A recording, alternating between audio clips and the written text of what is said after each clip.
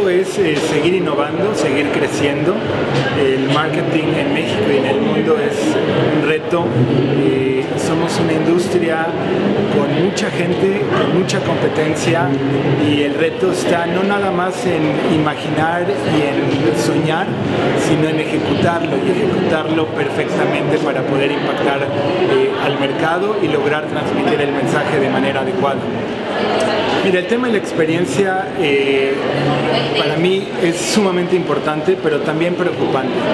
La experiencia está siendo agotada, el término experiencia nos lo estamos acabando en la industria de marketing, más que nada porque ofrecemos algo y no todos logran cumplir esa promesa y entonces el mercado, el asistente, termina decepcionándose.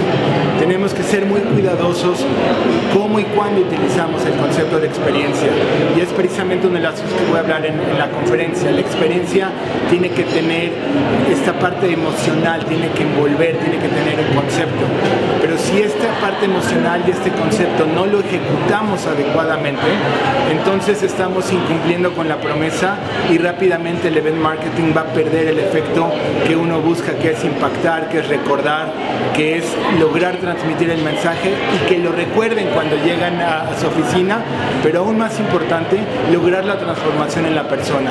Eso es lo que buscamos a través de la experiencia, que en el evento logremos transformar a las personas a través de los mensajes que estamos transmitiendo.